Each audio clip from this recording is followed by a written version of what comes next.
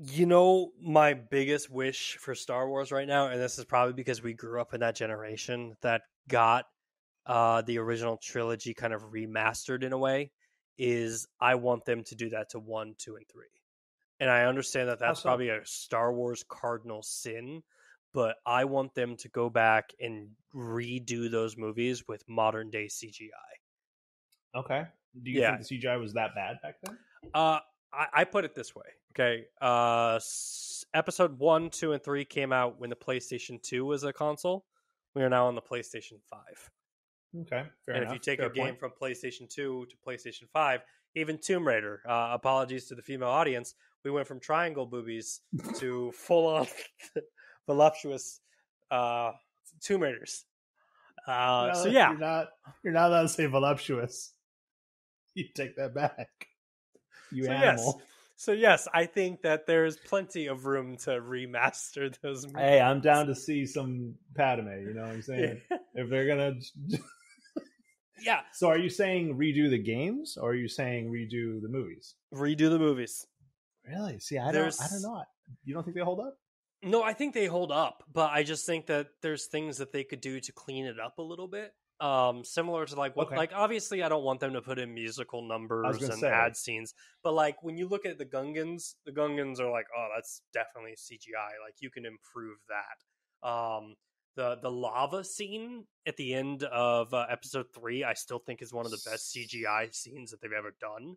But like, Yeah. there's things in episode one and episode two. Like, here's a prime example: Clone Wars. If you or not, yeah, Attack of the Clones. If you go back to Attack of the Clones, that movie's CGI is rough, like Really? really rough. Especially the Hmm. final battle scene where the troopers are running at each other and like the droids are fighting. Uh, That scene does not hold up to today's standards. See, so I, one thing I think they did really well with those three is really showing the expansive Star Wars universe.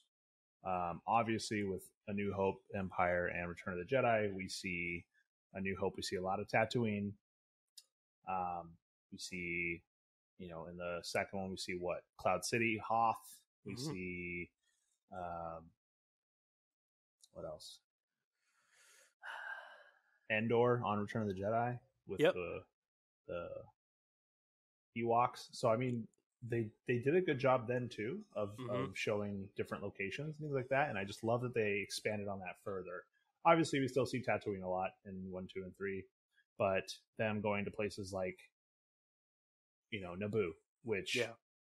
frankly I love the concept, especially as a kid, of the Gungans, a civilization living in like a lake, like with this whole crazy looking underwater city with these massive, crazy like sea monsters in the lake. Like I thought it was just so cool as a kid. Like even now, I feel still think it's awesome. One of my Mhm. favorite scenes is that scene where Jar Jar, um, Obi Wan, and Qui Gon are in that little water thing swimming through, and there's just a bigger fish, and they even make a comment like, "There's always a There's bigger always fish," a it's bigger like, fish. Yep. it just they, it truly gets bigger and bigger and i'm like holy cow like i love that so much and i loved um geonosis is that what it's called hmm where they have that fight uh, i think that planet and the geonosians are really interesting um i think a lot of that stems from like me playing a lot of battlefront as well. So Mhm.